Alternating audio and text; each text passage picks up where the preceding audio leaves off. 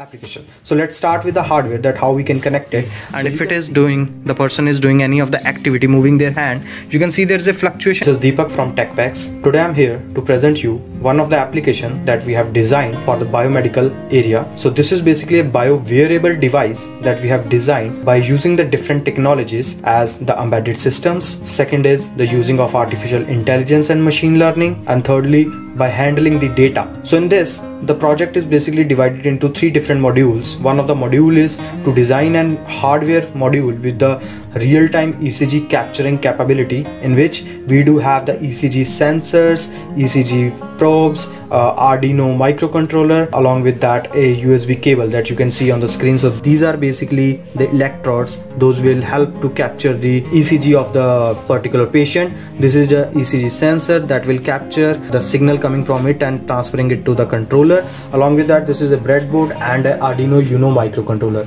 This is the USB cable that will be used to connect this uh, Arduino to the PC at the PC we do have two different phases. One of the phases to recognize the real-time ECG based health of the person in which the captured signal will be firstly captured and then the packet of 187 signal values will be given to the self-trained artificial intelligence model so that will give you the five different classes of the ECG which we will show you later on. And in second feature of the software application is to predict the health of the person as per the individual parameters like heart rate, blood pressure, temperature and urine amount extracted. Those are commonly used by the hospitals and the doctors to identify the health of the person. So these are the features that we are giving in this particular application. So let's start with the hardware that how we can connect it. So you can see this is basically sensor module in which we do have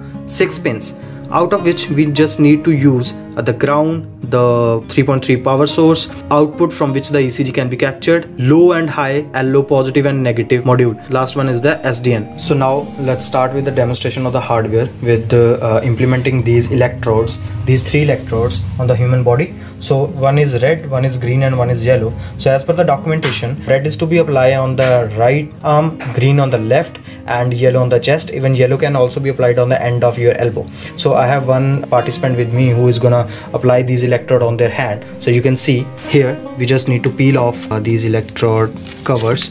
Take care of the thing that these electrodes should be placed effectively uh, the green is to be placed on the left hand.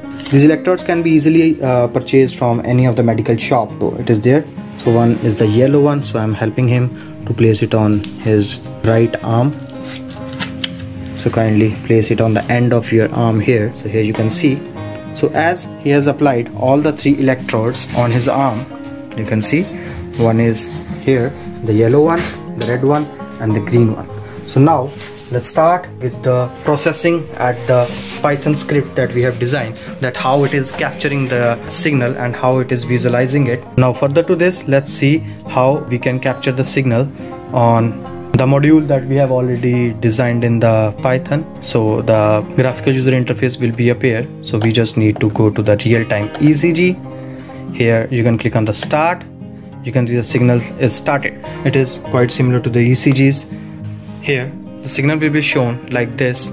As the when the electrodes were not connected we were well receiving the values of around 0 to 10 but now it is around uh, 160 140 and if it is doing the person is doing any of the activity moving their hand you can see there's a fluctuation in the ECG right? So uh, this is how we can capture the signal and it will go up to the 187 values. So let's wait for that. If it is in a relaxation mode the person is not moving any of the activity you can see the curve is going down.